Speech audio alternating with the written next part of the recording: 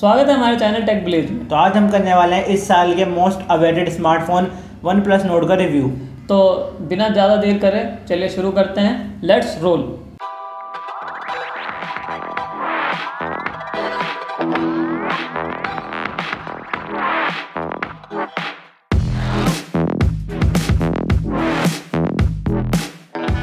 तो आखिर हमारे पास आज वन प्लस नॉट आ ही गया है तो सबसे पहले जो मैं इसका रिव्यू शुरू करना चाहूँगा वो मैं करना चाहूँगा इसकी डिज़ाइन से।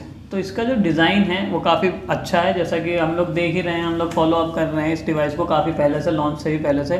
काफ़ी अच्छा डिज़ाइन है। और जो इसकी बॉडी है वो प्लास्टिक बॉडी है जो कि हमें पहले लगा था कि प्लास्टिक बॉडी नहीं होगी लेकिन बाद ये में लगा था कि इसका मेटल फ्रेम मेटल फ्रेम है और ये साइड वाली जो आप देख सकते हैं और इसीलिए काफ़ी अच्छा मतलब प्लास्टिक होना एक अलग बात है और एक प्लास्टिक की क्वालिटी इतनी अच्छी कि आप इस पर डिफ्रेंशिएट ना कर पाएँ कि वो प्लास्टिक है। बहुत सारे यूट्यूबर्स और बहुत सारे रिव्यूअर्स ने कहा कि ये एलुमिनियम ग्रिल है लेकिन ऐसा नहीं है ये सब कुछ प्लास्टिक है जो कि बहुत ही अच्छा दिख रहा है। अच्छी क्वालिटी का प्लास्टिक हाँ, यूज़ किया अच्छी क्वालिटी यूज़ करी गई है तो कोई मैटर नहीं करता मेरे हिसाब से कि प्लास्टिक हो या शीशा हो। तो और इसके डिज़ाइन के अलावा अगर इसके वज़न के बारे में मैं बात करूँ तो ये थोड़ा सा मुझे लाइट नहीं लग रहा थोड़ा सा हैवी लग रहा है। क्यों? शायद मैंने अभी जो कुछ फ़ोन्स रिव्यू करे हैं, वो इससे लाइट था इसलिए शायद ये थोड़ा हैवी लग रहा हो।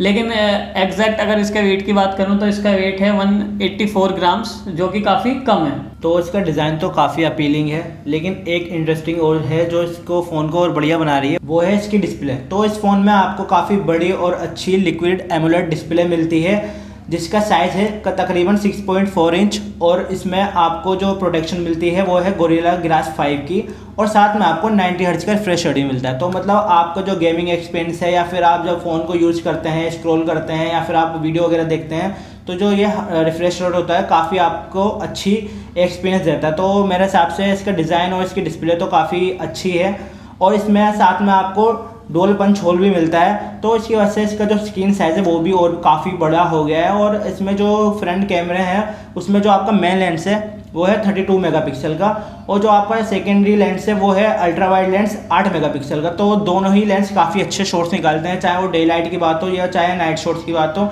तो मेरे हिसाब से डिस्प्ले और इसका जो कैमरा वगैरह सब एक अच्छा क्वालिटी के साथ आता है।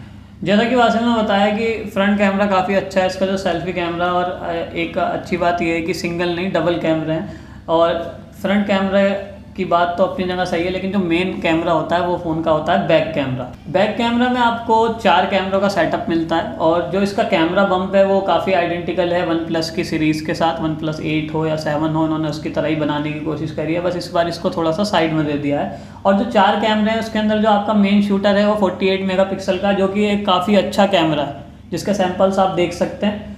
और इसके अलावा हमारे पास जो तीन कैमरे हैं, वो अल्ट्रा वाइड मैक्रो और डेप्थ सेंसर है। आठ मेगापिक्सल, पाँच मेगापिक्सल और दो मेगापिक्सल का। और मैं अगर बात करूँ कैमरे की तो मैंने पहले ही बोला कि मेन शूटर बहुत अच्छा है। कैमरा सेटअप भी बहुत अच्छा है, लेकिन वासिफ, मुझे ऐसा लगता है कि जैसे इसके अंदर जो चौथा कैमरा हमें दिया गया, वो दो मेगापिक्सल का दिया गया। और अगर हम कोई बजट फ़ोन भी रिव्यू कर रहे हैं आज के टाइम में, वहाँ पे भी एक चौथा कैमरा दो मेगापिक्सल का डाल दिया जाता है नंबर बढ़ाने के लिए। वो बात तो बिल्कुल सही है आपकी, लेकिन क्या होता है कि जो मेन लेंस होता है, ज़्यादातर लोग उस पर ही फोकस करते हैं। जो बाकी एक या दो लेंस होगा, जैसे डेप्थ सेंसर या फिर अल्ट्रा वाइड लोग उस पर ज़्यादा ध्यान नहीं देते क्योंकि लोग- ज़्यादा लोगों को पता ही नहीं होता कि असल में किस लिए यूज़ होता है। तो थोड़ा मतलब इसको मतलब- वो कर सकते थे हाँ। मतलब एक लेवल ऊपर लेके जा सकते थे दो से ज़्यादा कर सकते थे बट इन्होंने नहीं दिया। से देखा जाए तो इसे कहते हैं हम क्वालिटी ओवर क्वांटिटी वाली बात है क्योंकि अगर ये एक कैमरा नहीं देते मान लो तीन कैमरे ही देते तो लोगों को ये लगता है कि तीस हज़ार के फ़ोन में आपको सिर्फ़ तीन कैमरे ही हज़ार के फ़ोन में चार कैमरे दस हज़ार के फ़ोन में चार कैमरे और इसमें नहीं है तो इन्होंने नंबर बढ़ाने के लिए तो वो काम करा ही है। लेकिन इस मोबाइल के शॉर्ट्स काफ़ी अच्छे निकलते हैं और इसका कैमरा सेटअप भी काफ़ी अच्छी तरह प्लेस किया हुआ है।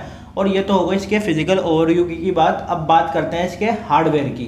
तो इसके अंदर जो प्रोसेसर यूज़ किया गया है वो है स्नैपड्रैगन का 765G और 765G प्रोसेसर काफ़ी अच्छा माना जाता है इस मिड रेंज फ़ोन में, क्योंकि नॉर्मली जो प्रोसेसर यूज़ होते हैं वो सिक्स या मोर देन मतलब 720 तक पहुँच पाते हैं, लेकिन इन्होंने 765G प्रोसेसर यूज़ किया है। और आप अगर गेमिंग वगैरह करते हैं तो आपको इसमें बहुत कम लेग इशूज़ या आपको बहुत कम फ्रेम ड्रॉप मिलेंगे तो मेरे हिसाब से इन्होंने मिड रेंज में एक अच्छा प्रोसेसर दिया है।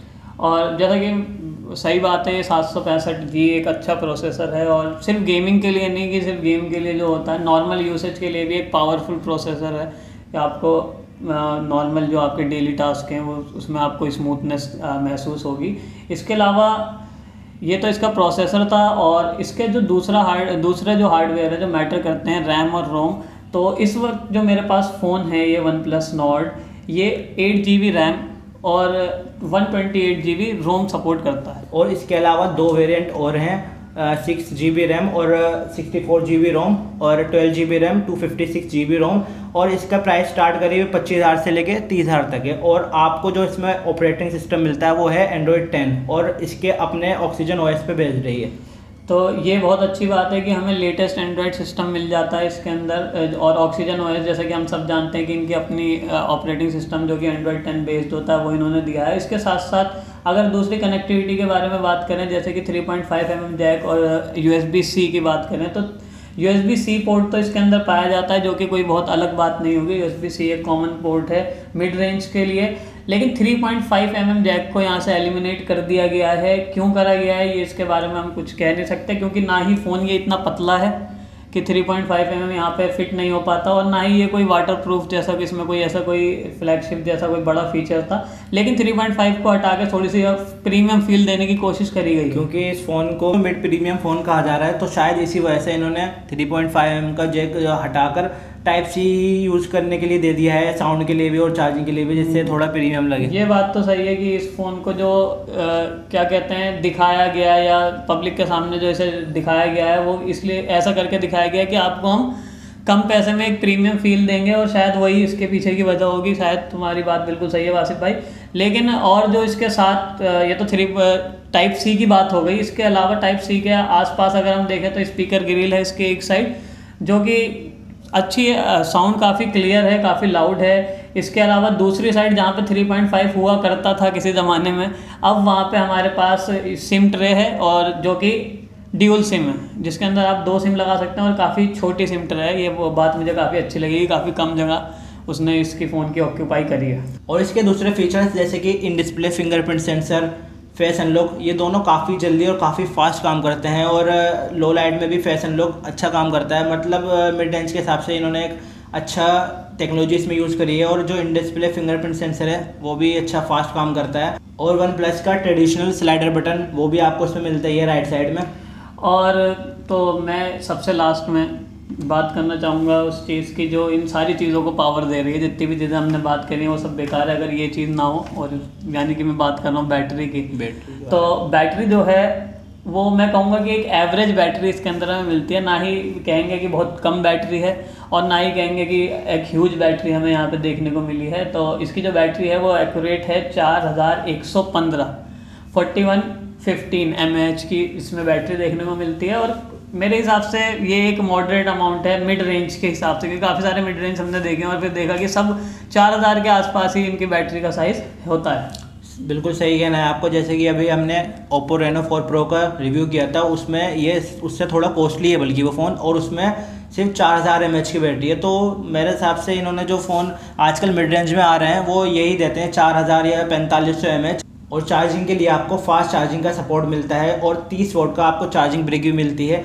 तो मेरे हिसाब से ये तो एक ट्रेंड हो गया है मार्केट का। अगर आप बैटरी चार हज़ार या पैंतालीस सौ एम एच की देते हैं तो आप उसके साथ फास्ट चार्जिंग का भी सपोर्ट देते हैं। तो इससे क्या होता है एक बराबर का हिसाब बन जाता बराबरी हो जाती है। या फिर मैं ये ऐसा कहूँ कि असल में फास्ट चार्जिंग मिड रेंज के लिए भी एक मतलब एक्स्ट्रा फीचर्स नहीं रहा। फास्ट चार्जिंग एक कॉमन फीचर होता जा रहा है हाँ, कि फास्ट चार्जिंग नॉर्मलाइज हो गया कि ये तो होना ही है।